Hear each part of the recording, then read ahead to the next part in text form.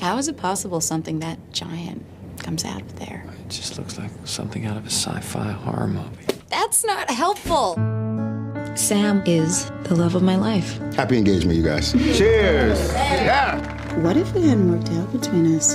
Impossible. I have some difficult news. The blood test shows that you are not pregnant. Oh, there's this moment when everything changes. You have a mass. It is cancer. This is the moment. At least we won't have to pay for college. Unless it's a really smart tumor. Welcome to the last group you ever wanted to be a member of. How's Estelle holding up? I hope she keeps up the bird watching after I'm gone with whatever new guy she's banging. Welcome to group. Grab a seat right there. I feel underdressed. Oh, that guy? He thinks it helps. Does it? Well, he's not dead yet, so it's got to be doing something, right? I'm just trying to find something positive here. Your wig is pretty. It's my hair, This is a disaster. Who's gonna match your socks?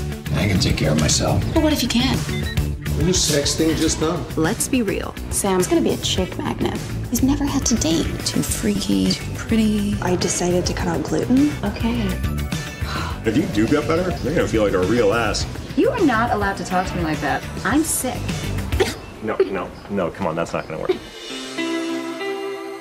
She's to be scared out of her mind. Right now, she just needs to know that you are going to be okay.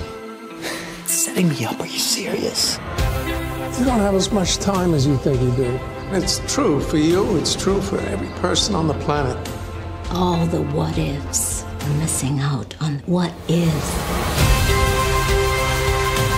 I thought if I planned your whole future, it wouldn't hurt so much not to be a part of it.